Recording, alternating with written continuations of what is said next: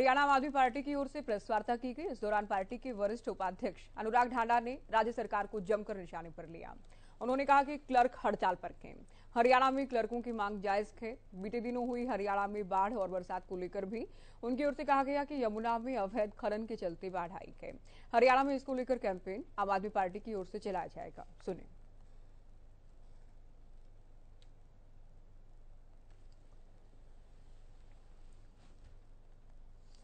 तो आम आदमी पार्टी ने हरियाणा सरकार को निशाने पर लिया है। बरसात और बाढ़ के बाद बने हालात को लेकर निशाने पर लिया गया, साथ ही क्लर्क हड़ताल को लेकर भी निशाना साधा गया।